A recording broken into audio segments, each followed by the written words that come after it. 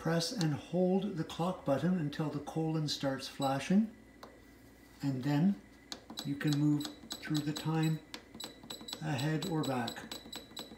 When you set the time correctly, press the clock button again and the colon will stop flashing. The time is set correctly.